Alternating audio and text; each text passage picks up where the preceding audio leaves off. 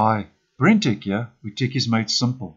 In this video, I will show you how to delete temporary files to free up disk space and storage in Linux Pop! OS and Linux Ubuntu. Now, Pop! OS is a more recent and newer version and shinier version than Linux Ubuntu, and they are basically, uh, both of them operating systems are based on the GNOME Shell desktop environment.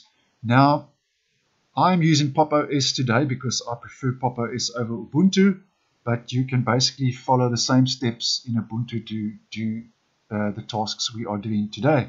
So to free up uh, temporary files, all you do is you go to your show applications.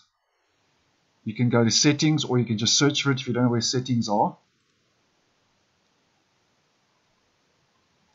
In your settings, navigate to privacy and then on the left, you will see a file history and trash. And if you go down trash and temporary files, and here we just go, you can empty your trash if you want to, and you can delete temporary files, purge temporary files, and also, as you can see here, you can automatically delete temporary files. I think this is the best, and you can check which uh, period of time you would like to do that. I find for myself, seven days is more than ample, and that will do that automatically in the background, so you don't have to come and delete and purge temporary files manually every week.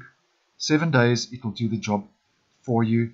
So that is how you delete trash and temporary files that are taking up valuable disk space and storage in Pop! OS and Linux Ubuntu.